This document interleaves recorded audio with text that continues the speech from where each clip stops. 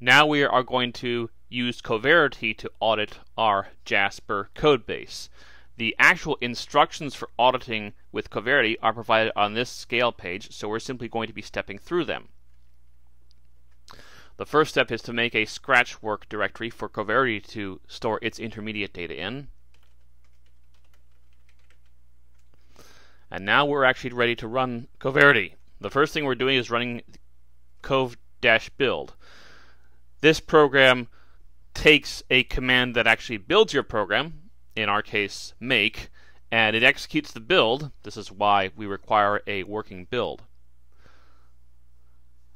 As the program builds, Coverity spies on it. It sees which files are actually compiled, which ones are ignored, and it sees the important information on how to build each file. For instance, what files to include, any macros to define, and so on. This compilation process will take a while, so I'm going to fast forward past it to the next step.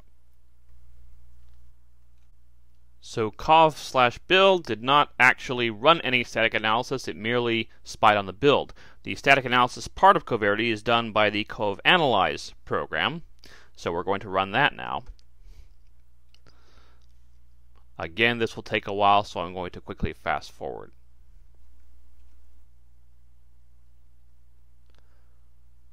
So the static analysis is now done, and Coverity provides a nice little summary of the issues it found. Coverity has a very sophisticated web interface for studying the problems that it found, but we do not need it for SCALe because we provide our own interface. So we're only going to ask Coverity for raw textual output. And I'm going to get that from the cov format errors command. Now we have a coverity.txt file. I'll quickly look at it. And the coverity.txt file shows many different errors, all the ones that Coverity found.